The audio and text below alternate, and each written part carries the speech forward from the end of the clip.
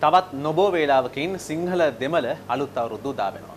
මෙවර අලුත් අවුරුද්ද සුවිශේෂී. අපි හැමෝම අලුත් අවුරුද්ද සමරන්නේ එහෙම නැත්නම් අලුත් අවුරුද්ද සිහිපත් කරන්නේ නිවසේ සිට. වෙනත් අවුරුදු වලට වැඩිය මේ අවුරුද්ද සුවිශේෂී වන්නේ ඒ නිසා. හැබැයි මේ අවුරුද්දේ ඔබ නිවසට වෙලා අලුත් අවුරුද්ද සමරද්දී වෛද්‍යවරුන් හෙද කාර්ය මණ්ඩලය ඒ වගේම ආරක්ෂක අංශ සමාජිකයින් මාධ්‍යවේදීන් තවත් අත්‍යවශ්‍ය සේවාවල නියුතු බොහෝ දෙනෙක් ඔබ වෙනුවෙන් රාජකාරියේ ඉන්නේ. එය අමතක කරන්නට එපා.